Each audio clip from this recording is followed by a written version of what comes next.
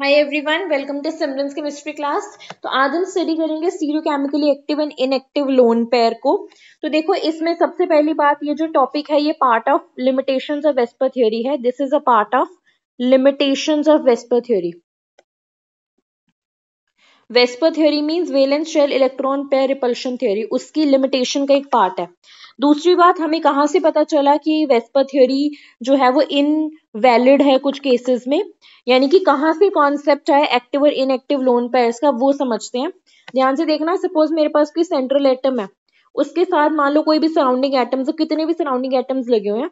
अगर उस central atom के पास लोन पेयर प्रेजेंट है तो उस लोन पेयर की वजह से अकॉर्डिंग टू वेस्पर थ्योरी जो ज्योमेट्री होगी, वो हमारे पास डिस्टॉर्टेड ज्योमेट्री होगी। डिस्टॉर्टेड ज्योमेट्री होगी। This is in according to VSEPR theory right because जो लोन पेयर होता है, वो डिस्टॉर्शन कॉज करता है। जिसकी वजह से ज्योमेट्री जो होगी परफेक्ट ना होकर डिस्टॉर्टेड होगी। और अगर किसी एटम के पास जो है, कोई लोन पेयर नहीं है तो उस केस में उसकी जो ज्योमेट्री होगी, वो होगी परफेक्ट ज्योमेट्री ये है according to VSEPR theory but अब लिमिटेशन क्यों आई? क्योंकि कुछ ऐसे मॉलिक्यूल्स देखे गए जिनमें सेंट्रल एटम के पास लोन पेयर है बट स्टिल उसकी जो ज्योमेट्री है, वो परफेक्ट ज्योमेट्री है। परफेक्ट ज्योमेट्री है कि in spite of having lone pair जो मॉलिक्यूल है, वो स्टिल परफेक्ट ज्योमेट्री दिखा रहा है। दैट मीन्स ये जो लोन पेयर है, वो कहीं ना कहीं इनएक्टिव होगा, तभी वो डिस्टॉर्शन में पार्टिसिपेट नहीं कर रहा। तो यहीं पे आते हैं हमारे पास limitation of VSEPR theory right means VSEPR theory के अकॉर्डिंग लोन पेयर है तो डिस्टॉर्शन होनी चाहिए। अगर लोन पेयर नहीं है तो डिस्टॉर्शन नहीं होनी चाहिए मींस परफेक्ट ज्योमेट्री होनी चाहिए। बट लोन पेयर के बावजूद अगर परफेक्ट ज्योमेट्री है दैट मींस कुछ तो प्रॉब्लम है थ्योरी के साथ। तो वहाँ पे कॉन्सेप्ट आता है हमारे पास केमिकली एक्टिव और इनएक्टिव लोन पेयर का। तो अब हम इसको और डिटेल में देखते हैं। तो हमने लोन पेयर्स को क्लासीफाई किया दो कैटेगरीज में। सबसे पहली category chemically active lone pair chemically active lone pair और दूसरी category of lone pair is chemically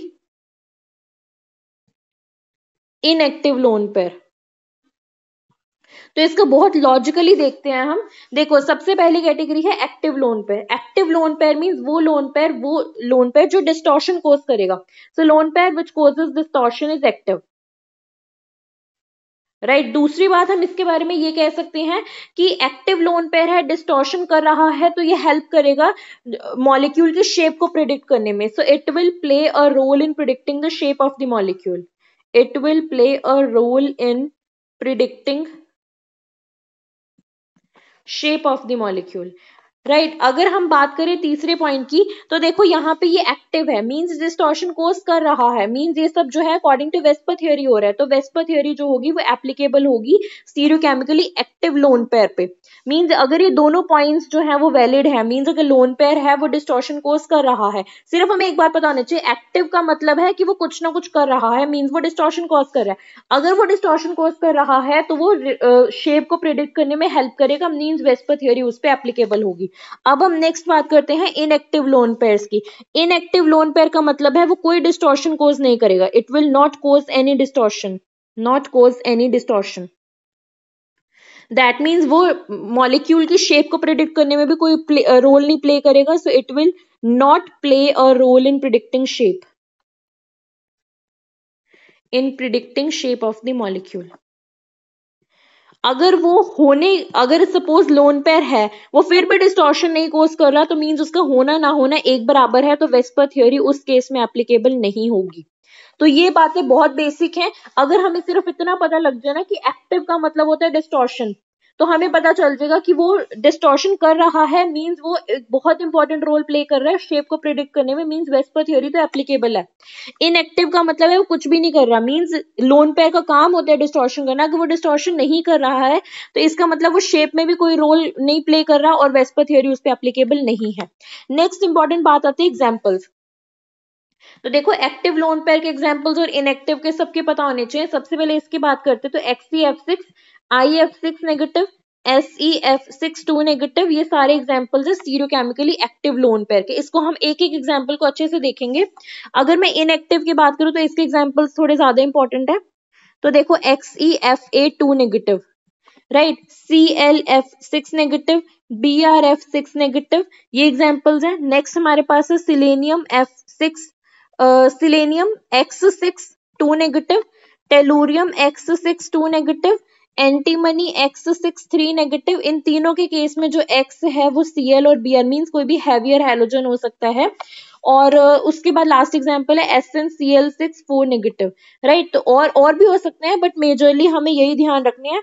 तो देखो, हम इसको बहुत अच्छे से देखेंगे। सबसे पहली बात, जो इनएक्टिव जो एक्टिव लोन पेयर्स के एग्जाम्पल्स देखो, यहाँ पे अगर ध्यान से देखोगे तो सेंट्रल जो सराउंडिंग एटम है, वो स्मॉल है। अगर हम, और इनका कोऑर्डिनेशन नंबर भी सिक्स है मीन्स कम है। अगर हम इनकी बात करें तो एक तो बात हमें ये ध्यान रखनी है कि सेंट्रल एटम जो सेंट्रल एटम होगा, उसके कोऑर्डिनेशन नंबर ज़्यादा होगा। दूसरी बात हमें ध्यान रखनी है कि जो सेंट्रल एटम के अलावा जो सराउंडिंग एटम्स है, वो हैवियर होंगे। इस क्राइटेरिया को हम बाद में देखेंगे, ताकि हम इन एग्जाम्पल्स को ध्यान रख सकें। अब एक एक करके एग्ज़ाम्पल लेते हैं। क्यों सपोज़ क्यों एक्स एक एग्ज़ाम्पल हम यहाँ पे लेते हैं। क्यों S C F six two negative जो है, वो उसका लोन पे स्टीरियोकेमिकली एक्टिव है और S C X six two negative का लोन पेयर जो होगा, वो स्टीरियोकेमिकली इनएक्टिव होगा। हम इनको दो एग्जाम्पल्स को लेके चलेंगे एक साथ। यहाँ पे हम लेंगे S C F six two negative यहाँ पे लेंगे S E X six two negative where X can be chlorine और ब्रोमीन तो इसको बहुत ध्यान से देखना। तो देखो, सबसे पहले हम हाइब्रिडाइजेशन देखते हैं स्टीरिक नंबर देखते हैं। स्टीरिक नंबर क्या होता है? सिलेनियम के पास कितने वेलेंस इलेक्ट्रॉन्स है प्लस कितने मोनोवेलेंट एटम्स अटैच्ड है, और नेगेटिव चार्ज है तो प्लस करेंगे डिवाइडेड बाय टू तो यहाँ से हमारे पास आएगा seven seven steric number seven का मतलब है हाइब्रिडाइजेशन होगी S P three D three right और अगर ध्यान से देखो स्टीरिक नंबर सेवन है सराउंडिंग एटम सिक्स है मींस इसके पास एक लोन पेयर होगा.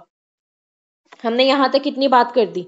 अब हमें देखना है सेकंड केस ये वाला case S C X X two negative का। यहाँ पे भी सेम स्टीरिक नंबर क्या होगा? स्टीरिक नंबर मीन्स कितने सेंट्रल एटम के पास कितने वेलेंस इलेक्ट्रॉन्स है प्लस कितने मोनोवेलेंट एटम्स है प्लस नेगेटिव चार्ज हमने करना है डिवाइडेड बाय टू ये भी आएगा सेवन यहाँ पे हाइब्रिडाइजेशन होनी चाहिए S P three D three और इसमें भी स्टीरिक नंबर सेवन है सिक्स सराउंडिंग एटम्स है मीन्स इसके पास भी एक लोन पेयर होगा।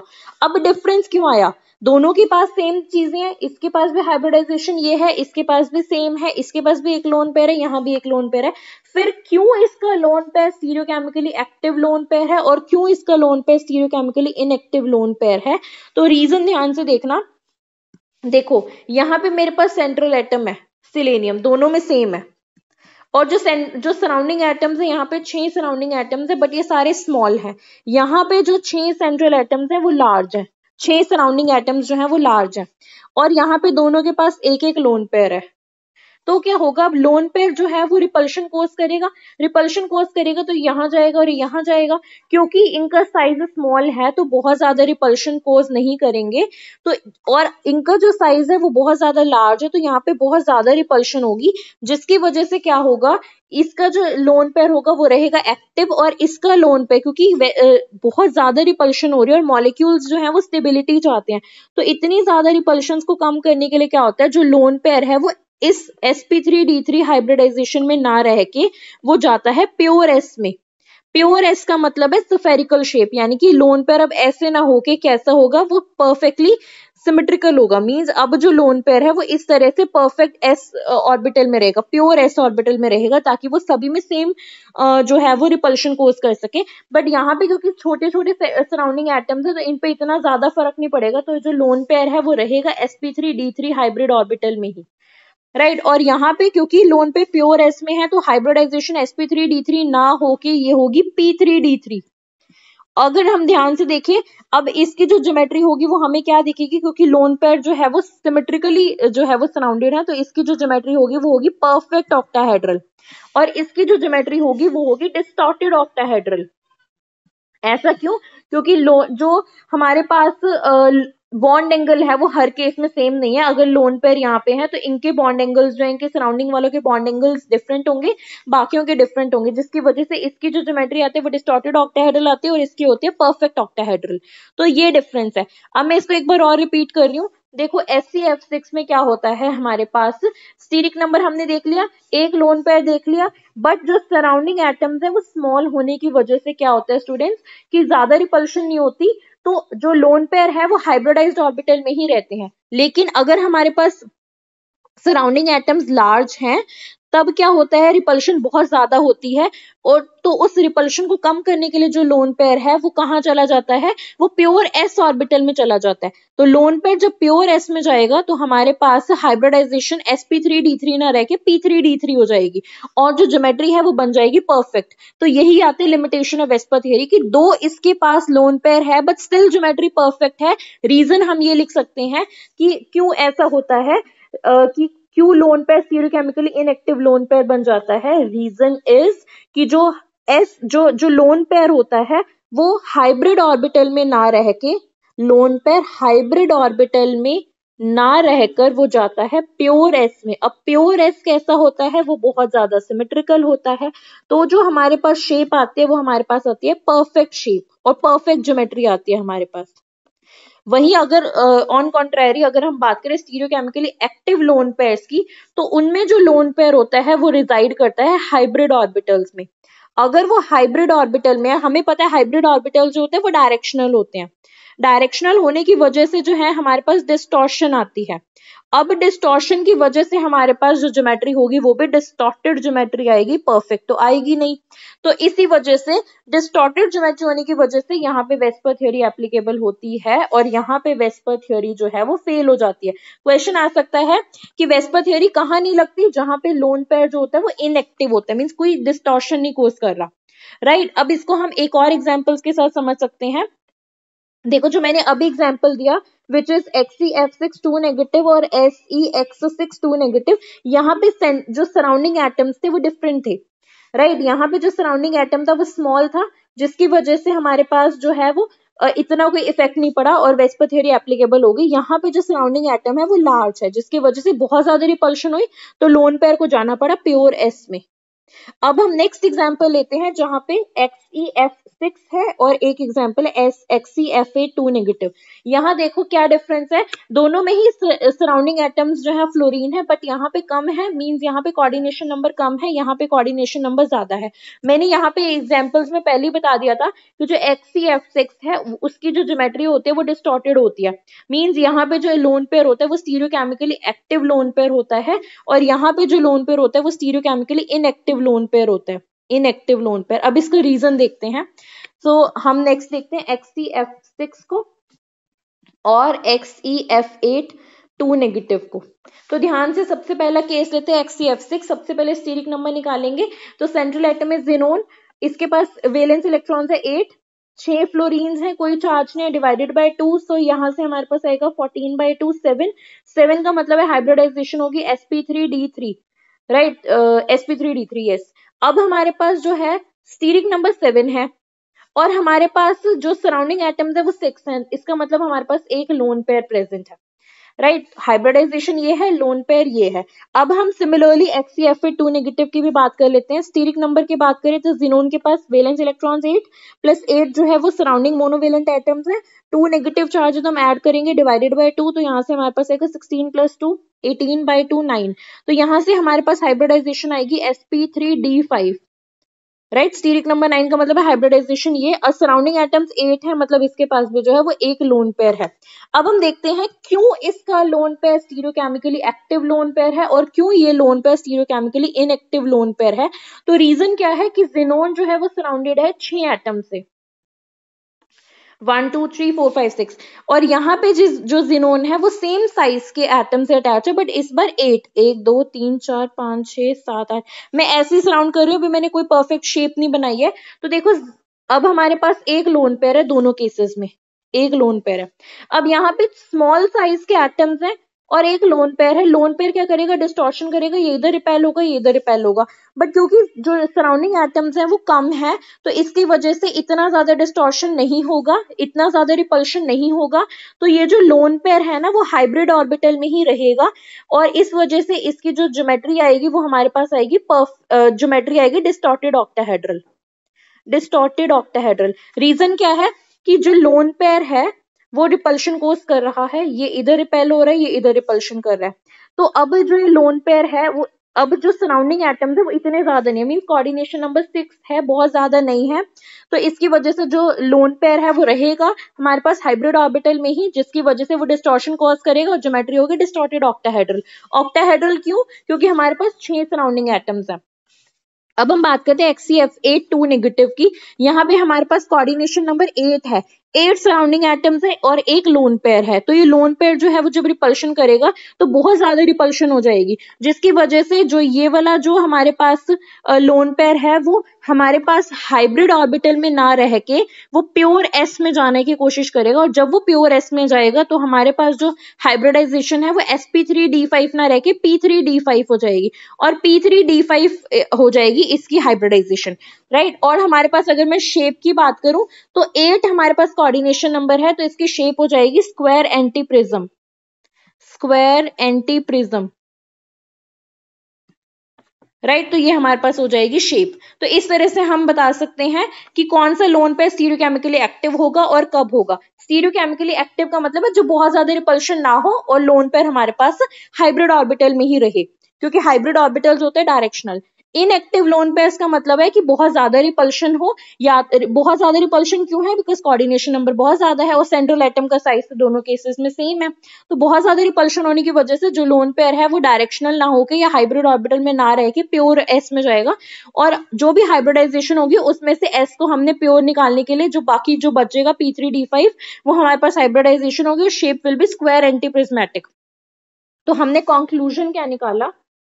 कंक्लूजन ये निकाला हमने कि स्टीरियोकेमिकल इनएक्टिविटी क्यों होती है लोन पेयर की? Reason for reason for stereochemical inactivity of lone pair inactivity of lone pair तो इसके हमारे पास दो रीजंस हैं। सबसे पहला रीजन हमारे पास ये है कि अगर हमारे पास जो सराउंडिंग एटम्स हैं सराउंडिंग एटम्स हैं, अगर उनका साइज़ ज़्यादा होगा तो रिपल्शन जो होगा वो बहुत ज़्यादा होगा। रिपल्शन ज़्यादा होगा तो लोन पेयर जो है वो हाइब्रिड ऑर्बिटल में रहना तो प्रेफर नहीं करेंगे। वो प्रेफर करेंगे प्योर एस में जाना। जिसकी वजह से हमारे पास जो लोन पेयर है, वो स्टीरियोकेमिकली इनएक्टिव हो जाता है। तो पहला रीजन है सराउंडिंग एटम्स का साइज़ ज़्यादा होना। इसी वजह से अगर मैं एग्जांपल की बात करूँ, इसी वजह से S C F six two negative में जो लोन पेयर है, वो एक्टिव है but S E X six two negative जिसमें एक्स कैन बी क्लोरीन और ब्रोमीन मीन्स अगर सराउंडिंग एटम जो है, वो अगर हम उसका साइज़ बढ़ा दें तो जो लोन पेयर होगा, वो स्टीरियोकेमिकली इनएक्टिव हो जाएगा। तो ये एक रीजन हो गया। दूसरा रीजन है, अगर हमारे पास कोऑर्डिनेशन नंबर ज़्यादा हो। अगर कोऑर्डिनेशन नंबर ज़्यादा होगा, उस केस में भी रिपल्शन बहुत ज़्यादा होगा तो लोन पेयर जो होगा, वो प्योर एस में जाना प्रेफर करेगा, ना कि हाइब्रिड ऑर्बिटल में। तो इस वजह से भी स्टीरियोकेमिकल इनएक्टिविटी आती है लोन पेयर्स में। तो दो रीजन है सराउंडिंग एटम्स का साइज़ ज़्यादा होना और कोऑर्डिनेशन नंबर का ज़्यादा होना। तो देखो प्योर एस में जाने से क्या होता है? प्योर एस में जाने से रिपल्शन जो होती हैं, वो बराबर डिस्ट्रीब्यूट हो जाती हैं। तो इतनी ज़्यादा रिपल्शन फील नहीं होती तो उस वजह से हमारे पास जो है थोड़ी सी स्टेबिलिटी आ जाती है। तो ये हमारे पास था स्टीरियोकेमिकल एक्टिविटी और इनएक्टिविटी ऑफ़ लोन पेयर जो कि एग्ज़ाम पॉइंट ऑफ़ व्यू से बहुत इंपॉर्टेंट है। जो एग्जाम्पल्स मैंने बताए हैं वो एग्जाम्पल्स ध्यान रखने हैं। और ये सारा कॉन्सेप्ट बहुत इंपॉर्टेंट है और बहुत लॉजिकल है। सो so, और ये किसका पार्ट था? ये लिमिटेशन ऑफ़ वेस्पर थियोरी का पार्ट था। तो पहले हमें वेस्पर थियोरी पता होनी चाहिए उसके बाद ये लिमिटेशन पता होनी चाहिए। So this is all about today's video I hope कि आज की वीडियो क्लियर होगी. If you guys like our video please subscribe to our channel thank you so much